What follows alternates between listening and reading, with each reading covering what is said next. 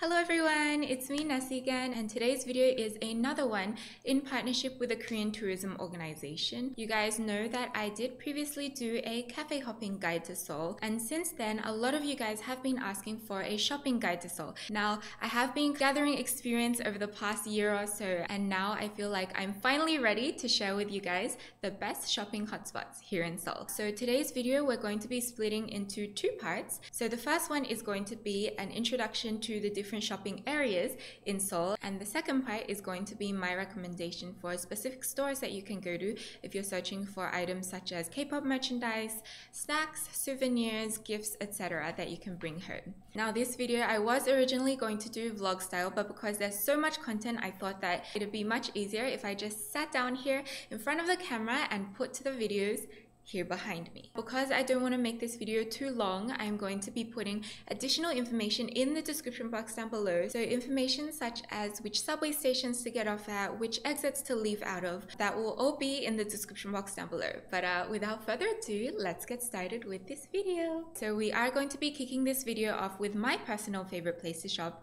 and that is Hongdae. I'm sure that you guys have heard that name many, many times in my vlogs, and that's because it is just such a fun place to Hongdae is a place for trendy fashion, and even though a lot of people might recommend other places to shop, I personally feel like Hongdae is just where I can find basically anything that I want. Now, there are two particular streets that I want to recommend to you guys. So, the first place, of course, is the main street, which is Hongdae Fashion Street. This is the cheaper of the two streets that I'm going to be recommending, and this is a place with a very healthy mix of both tourists and locals, and it sells very on trend fashion. It sells a lot of the stuff that you would see K-pop idols wearing, but cheaper versions of course. And if you're shopping at the smaller stores lining the street, the prices will generally range from 10,000 to 20,000 won. Now this other street that I want to recommend to you guys is more hidden than the main tourist street. I'm not sure what exactly it's called, but I will leave it in the description box down below once I find it. This place is more hidden than the main tourist area, but it has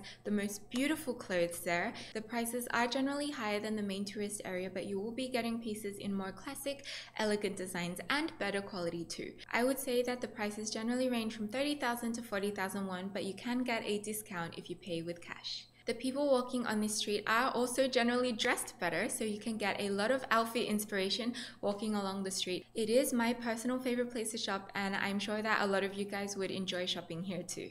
Next up, we have Express Bus Terminal. This is an underground shopping mall and it is a great place to do very cheap shopping. This place does have a mix of everything and you will find a lot of locals shopping here along with the tourists. You will find a lot of local elderly people shopping here as well because the prices here are so cheap. They have a huge mix of stores that cater to both the younger and older population and prices can go as low as 5,000 won. So it is a very cheap place to shop. Make sure you bring comfort comfortable walking shoes though because the mall does not end and you will be walking around for a very long time.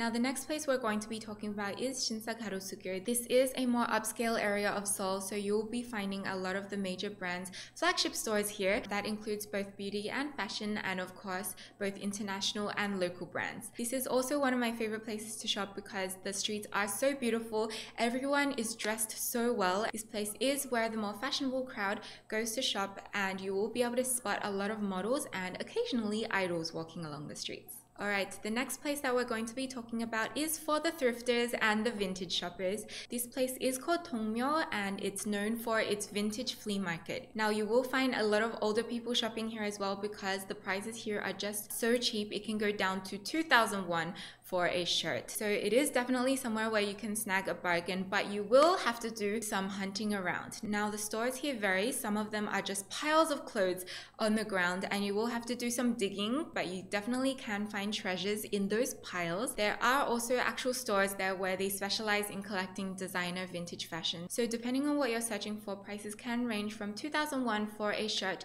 to 100,000 or higher for designer pieces. Interestingly, I have noted that there were a lot more guys shopping in Dongmyo than girls, and I did ask one of my male friends, and he said it is because the prices there are so cheap and they all go there to snag bargains. So if you guys are interested in thrift shopping and vintage shopping, then do make sure to check out Dongmyo. Next up, we have Ewha Women's University. Now, this is somewhere that I personally would not recommend that much, but I'm just including it because it does come up very often if you search up best places to shop in Seoul. The shopping street here has cheap to average prices, roughly on par with the prices that you would find in the main fashion street in Hongdae. It does have cute pieces, but nothing that you wouldn't be able to find anywhere else. So I would personally only recommend it if you were passing by or on your way back from sightseeing at Ewha Women's University. Next up on the list is somewhere that you would immediately think of if someone mentions Seoul, and that is Gangnam. Now, a lot of the major brands do have their big stores in Gangnam, but the majority of those brands you can find in Garosu-gil, and I personally think that Garosu-gil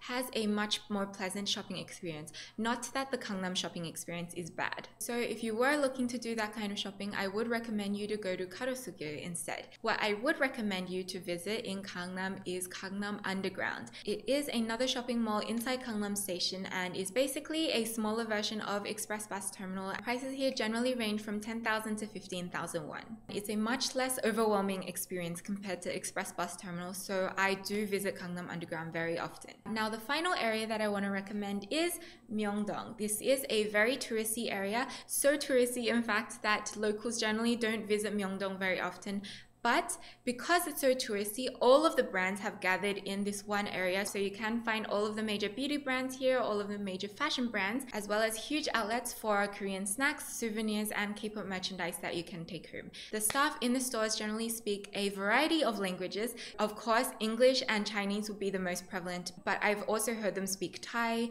Japanese, etc. So it is a very foreigner-friendly place. For Myeongdong, I would recommend you to visit later in the afternoon to early evening because that's when the streets are bustling with people. All of the street food stalls have set up, and it is a very, very fun place to be.